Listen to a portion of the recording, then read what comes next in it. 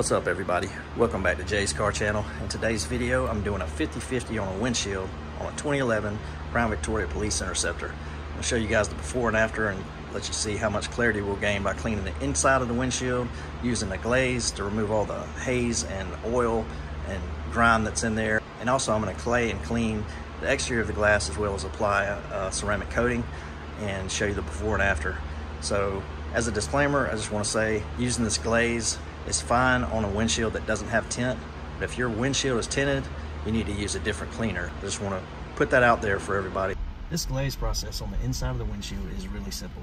You really just need three things. You need Adams Brilliant Glaze, an applicator, which this is a little microfiber block applicator, and you need a good microfiber towel. This is a FTW for the windows towel from the Rag Company. These are excellent for glass and work well for this process.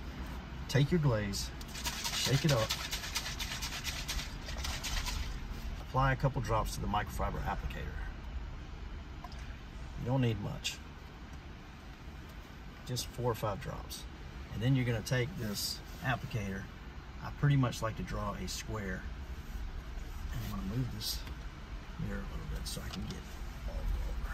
Draw a square.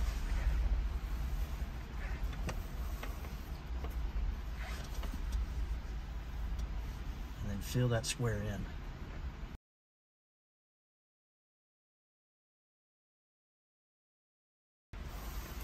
Try to get down to the very bottom of the windshield if you can. And then you can cross hatch it. I went up and down, now I'm going side to side.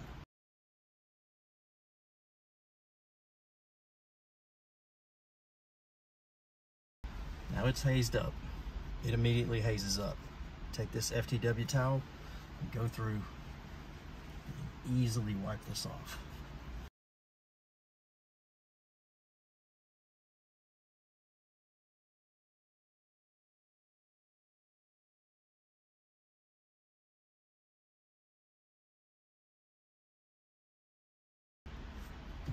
So that's how quick and easy you can do it. Now we're gonna set up on the outside and do the exterior glass and do just the driver's side once again. And then we'll take a look and see how much clarity we've gained side to side and do a comparison.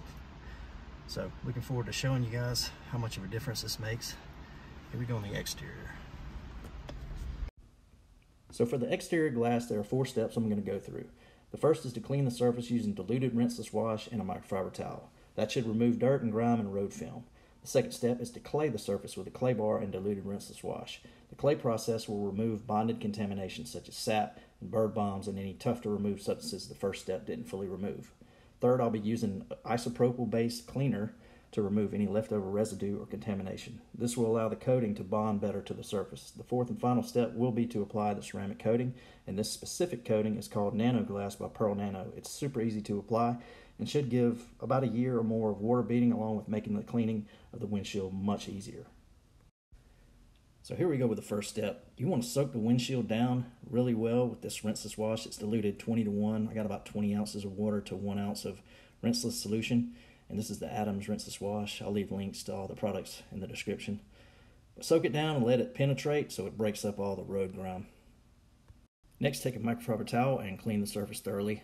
You don't have to go crazy with it, but you know, just go over the surface enough times to get everything off. Now onto the second step, which is the clay process. You want to soak the windshield down again with rinseless wash. Take your clay bar and go up and down in vertical motions, cover the entire surface. Then spray the windshield down a second time and then go horizontal and cross hatch everything. So that way you cover every angle of the windshield and make sure you remove all the contamination. Now to the third step, which is to use an isopropyl-based cleaner. This is Throwback by Shine Supply. Spray about three or four sprays onto the surface. Take your microfiber and just go through and clean the windshield for the third time.